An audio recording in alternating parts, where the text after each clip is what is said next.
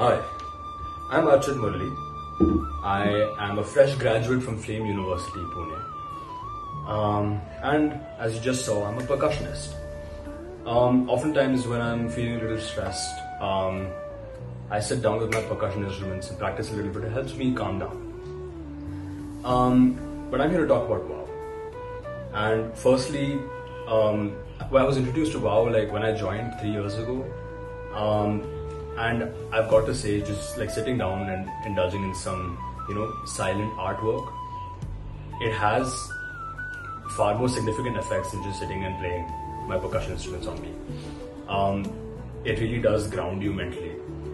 Um, and secondly, I just like to say that I went to a high school that mandated yoga.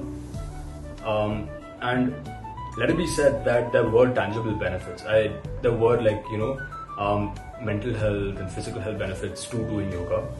Um, and only thing was, as soon as I graduated from that school, I could not get myself to do yoga. I tried.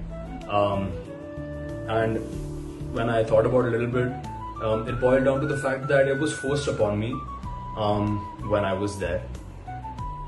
But um, yeah, once I started doing WoW, although I have not been doing it as frequently as I'd like, um, I just wanted to say that WoW packages the same benefits in a form factor that's far more compatible with our generation. It's not just sitting down and meditating. It's sitting down doing an activity which gives you some kind of gratification with also some of those mental health benefits. Um, well, I think that's enough of me talking about it. You should just try it. Uh, so yeah, that's wow. And I think it works.